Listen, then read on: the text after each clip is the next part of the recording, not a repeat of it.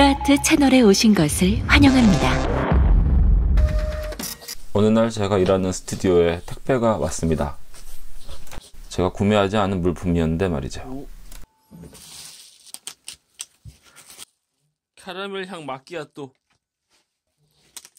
달고나 이런 것들과 함께 안에는 건프라가 있었습니다.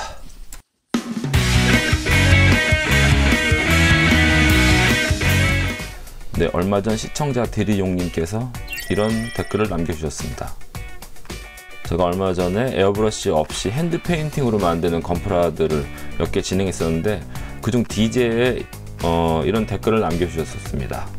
네, 이 편에서는 제가 개인적으로 개발하는 파스텔 이용한 painting을 조금 보여드린 적이 있었죠.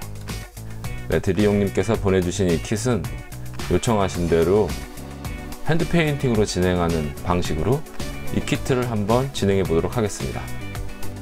네, 이렇게 kit을 보내주셔서 드리용님께 영상으로 감사하다는 말씀을 전하고요. 여기서 hand painting으로 잘 제작해 보도록 하겠습니다. 그리고 이런 사제 데칼도 함께 보내주셨습니다.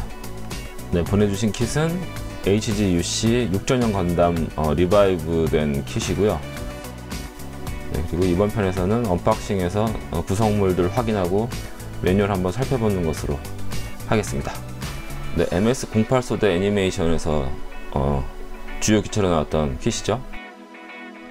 네, MS08 소대 애니메이션은 이제 1년 전쟁 중에 지구에서 일어났던 한 소대의 이야기를 이제 바탕으로 해서 만들어진 애니메이션이죠. 건담의 밀리터리한 스타일로 이제 만들어진 애니라서 상당히 또 재미가 있었습니다.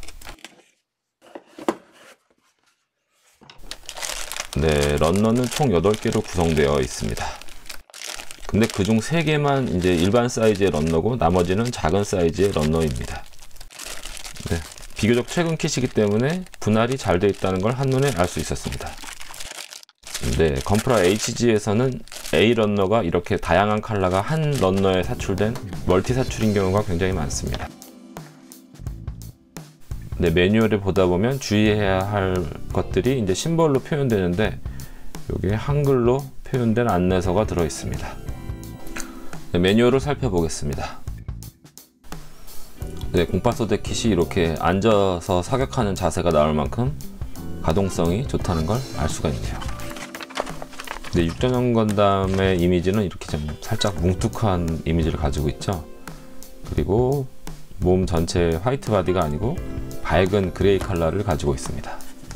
네, 제가 매뉴얼 볼 때 또 먼저 해보는 거는 접합선이 나올 만한 부분을 체크하는 것입니다. 이걸 꼼꼼히 다 체크한다기 보다는 전반적으로 보면서 어떻게 되겠다라는 예상을 한번 해보는 것입니다. 네, 이쪽 팔 부분에 접합선이 나올 가능성이 있긴 있네요. 정확히는 해봐야 알겠습니다. 네, 그리고 팔이 두 개니까 다음 팔도 나올 수가 있겠죠.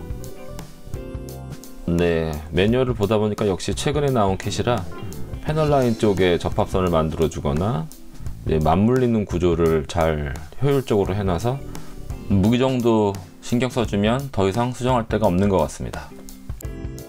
네, 무장은 이렇게 건 종류가 세 가지가 있습니다. 조립 위주로 하시는 분들 입장에서 킷을 바라볼 때는 이제 이미 칠해진 부품들이 색분할이 어떻게 되어 있는지 뭐 가동성이 어떻게 되어 있는지 이런 걸 중요하게 생각하지만 도색을 하는 입장에서 보기에는 이 킷은 다른 걸 떠나서 도색하기에 좋은 구조로 되어 있는 것 같습니다. 도색하는 사람의 입장에서 바라본다는 것을 예를 들어 보면 어, 사출 색이 중요하다기보다는 도색을 할 때 부품 분할이 잘 되어 있으면은 칠하기가 상당히 편해서 그런 부분이 오히려 이제 눈에 잘 들어온다는 것이죠.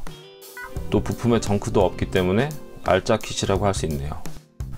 제가 진행하고 있던 게 1대 35 스케일의 이제 그 중장비 모형이 하나 있었고 그리고 기라도가 HG가 이제 도색을 남겨놓은 상태에 있는데 어, 이 킷을 어, 보내주셔서 이걸 먼저 진행하는 쪽으로 방향을 잡았습니다. 그러면 다음 편 도색편도 재밌게 봐주시면 감사하겠습니다.